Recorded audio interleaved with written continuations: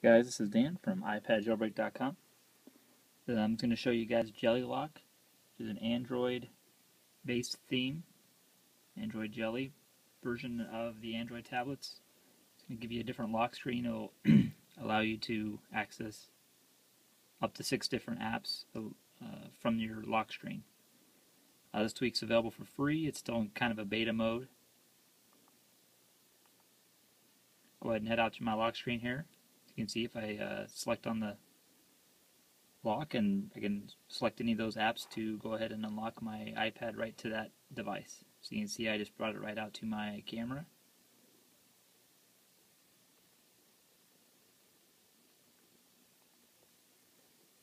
Go ahead and uh, show you another one here. Just I'll just go right into Cydia here. Unlocks and it goes right to the Cydia app right where I was in Jelly Lock. Go and jump into the settings and extensions for Jelly Lock. Uh, you can have the enable, disable. It's all done without a respring, as you can see. Uh, just head right back to the lock screen and enable it. Head back to the lock screen, and uh, you'll have Jelly Lock back. Here's how it works. You have up to six different shortcuts you can have. And you also can have the lower half of the circle enabled as well. So I'll just select activator and add it as number 4, go back to my lock screen. As you can see, uh, that's been added to the half moon of icons that I have. The icon size and uh, the size of the circle and other things are also customizable.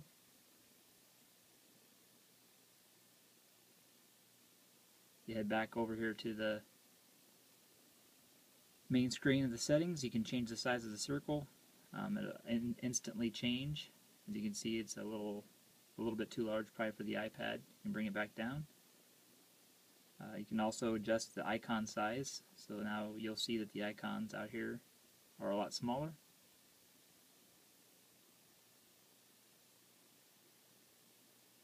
And also uh, make them a little more transparent. You can see it's a little bit harder to see the icons.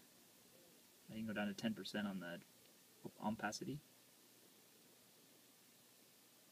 A few color customizations. Um, it just changes the color of the circle and the label. Uh, I changed both of those to, to, let's just say I just changed both to red. It doesn't change the, the lock on the main screen. It just changes the colors when you select on. You can see there's a little bit of red there. I wish it was more, I wish it integrated with the camera icon and the lock screen and those kind, or the lock padlock as well.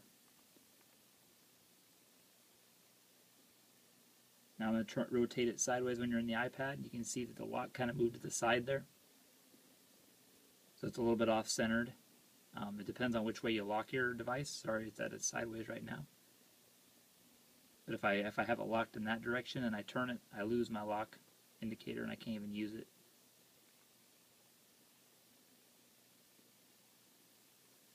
So there's a there's a little bit of an issue with that. Um, it depends on which way you lock it be able to use it. So um, again, this is a free tweak. It's still in beta mode, so there's bound to be a few things wrong with it. It does work on the iPad, which is kind of nice. Uh, be sure to check us out at iPad Jailbroken on YouTube. Subscribe to our videos, and uh, head over to iPadjailbreak.com for the latest on iPad jailbreaks.